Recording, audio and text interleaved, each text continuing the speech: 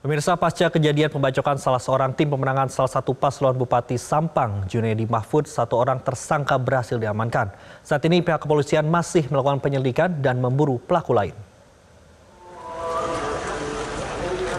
Beberapa jam setelah terjadinya pembacokan, seorang tersangka berinisial FS berhasil diamankan oleh pihak kepolisian dan saat ini tengah ditahan di Mapolda Jatim.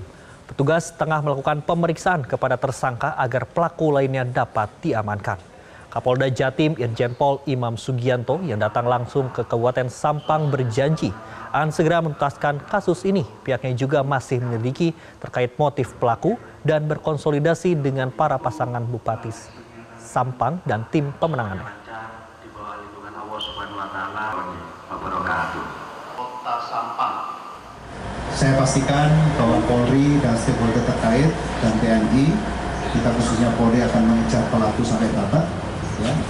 Alhamdulillah tadi malam sudah kita dapatkan satu tersangka yang diduga tersangka dengan inisial FS dan kasusnya sedang kita analisa kita kembangkan terus mudah-mudahan dari tersangka FS ini bisa berkembang kepada tersangka-tersangka. Sementara itu, calon Bupati Sampang nomor urut 2, Selamat Junaini menghimbau warga untuk tetap tenang. Dirinya meminta masyarakat untuk tidak terprovokasi dengan isu dan juga fitnah. Kita tetap tenang. Kalau dari pihak Kim, kami tidak pernah melakukan kantor sekalipun difitnah dan seterusnya.